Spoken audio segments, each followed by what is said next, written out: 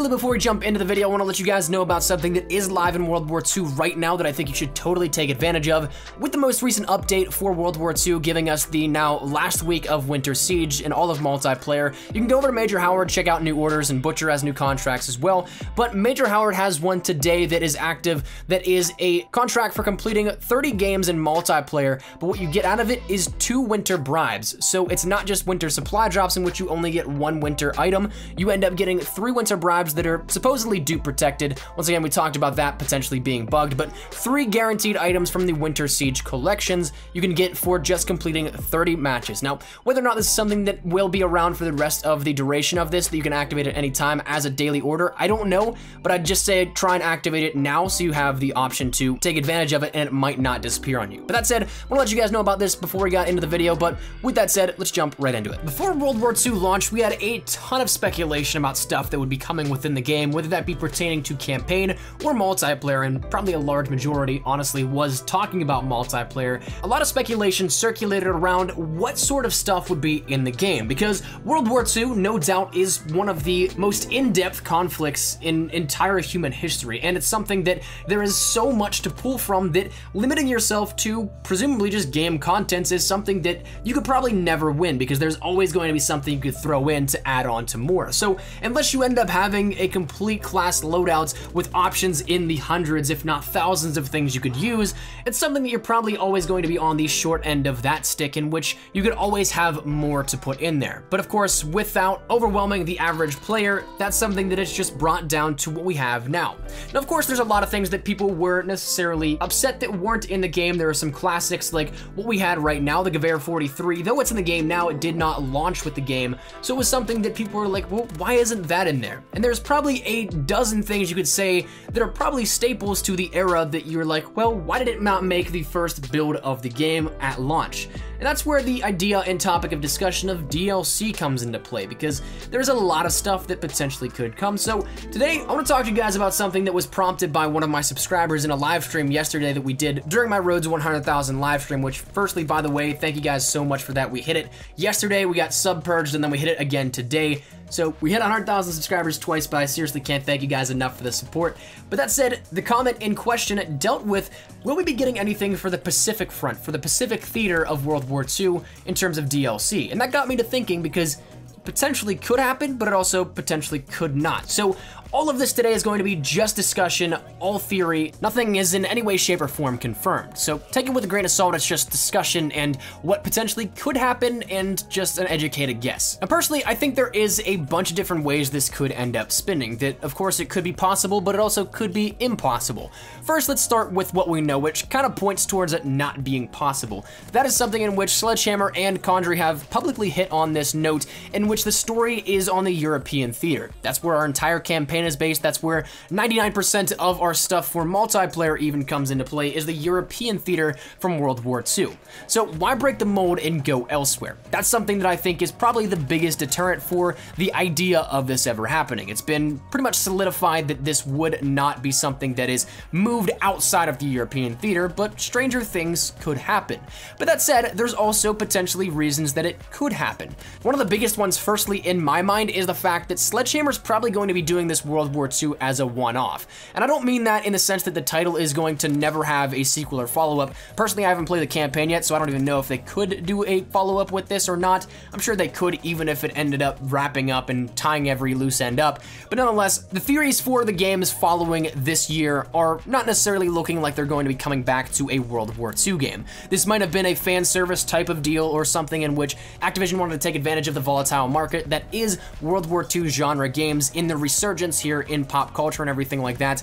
And potentially this is going to be the only game in the next three years that is World War II. I'm not saying that we won't ever return after this, but right now indications for Treyarch's next title almost seem like indications for a near past or near future or present day title, or potentially I guess there are those theories in which it's way far off once again, but nothing really pointing back to the idea that we're going to be seeing anything going back to World War II. No leaks like that or anything, and Infinity Ward personally to me, while I have no idea what they're going to do, I think the only logical thing would be to tie in Modern Warfare in some way, shape, or form, whether that be a Modern Warfare 4 where you go after the Shadow Company and try and hunt down the rest of the organization after you've already taken care of Shepard and Makarov.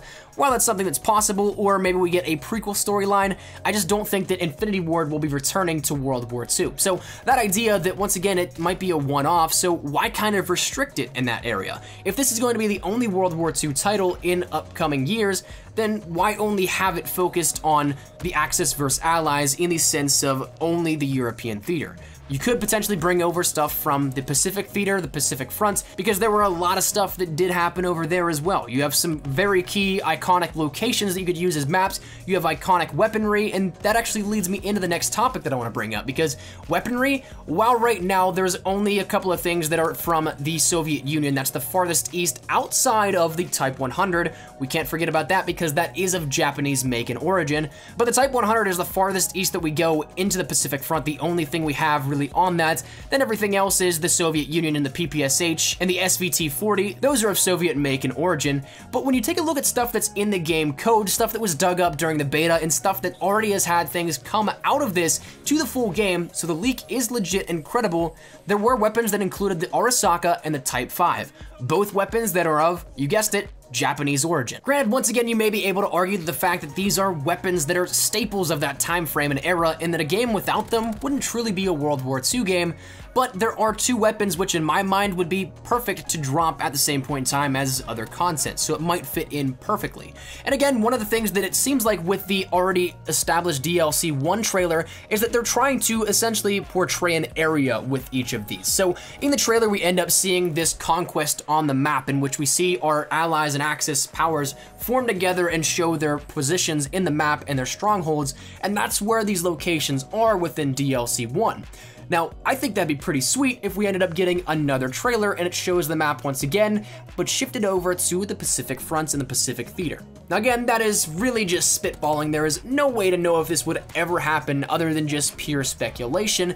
But that said, even if this sort of stuff doesn't come, there's still a lot of stuff on the table DLC-wise that we could potentially see. And even if we drop the idea of the Pacific Theater, that's something that we still have all of these on the table. One of which, at the very easiest and core of this, is DLC weapons, in which we've already detailed that there's the Gewehr 43, the Type 5, the Volkssturm Gewehr, the Beretta 38, the Sten, the Beretta 30, the M1919, the MG81, the Arisaka, the Winchester 94, the Enfield number 2, the Walther P38, the Rex Revolver, the Ice Pick, the Combat Knife, and the Trench Knife. All of those were in the game code before the launch of the game in the beta code, and we've already seen a handful of those come in, that being the Trench Knife, the Ice Pick, the Sten, the Gewehr 43, and the Beretta 30, and as we know, that was called the GPMG. There's other basic trainings which did not make it over into the full game, some stuff that was from the alpha and the very early beta versions, some of the stuff that we maybe even saw at E3 like that, but also stuff that never really even made its way into the game, stuff that, while I'm not necessarily thinking that it would be dropped out of the blue here or something like that,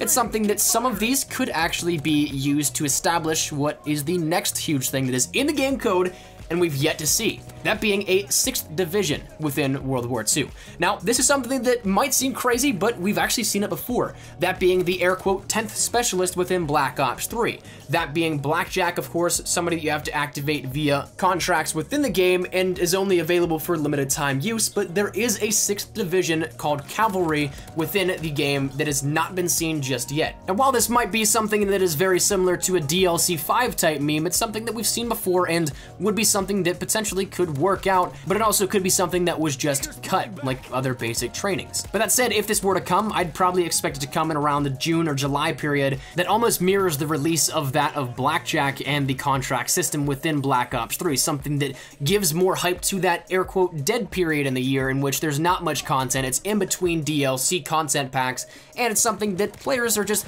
looking for something to give them a reason to keep playing the game. Instead of going off to some other game, that is something that could totally be thrown in there, and maybe we see it at that point, and maybe some of these cut basic trainings pick and choose a little bit of how this cavalry division works. Maybe it's a little bit of everything that we see across the board with the five divisions, but maybe one specific piece for each of those put into one, or maybe you can custom tailor your own. Who knows? I think that'd be something very cool, but as for rounding back up, there is no shortage of DLC that could potentially happen within World War II. There is so much content, not only in the realms of the universe of World War II, but also the realms of just the game code and what's actually in the files in the game build that is just below what the public sees. So there's definitely a lot of stuff that we can take a look at and hope for in the near future. And that said, I think I'm gonna turn it over to you guys. Do you wanna see some stuff on the Pacific Theater? Do you guys wanna see a 6th Division added into World War II, whatever it may be, let me know your thoughts down there in the comment section down below. There's no right or wrong answer, I just want to open up a little bit of a discussion here for this one.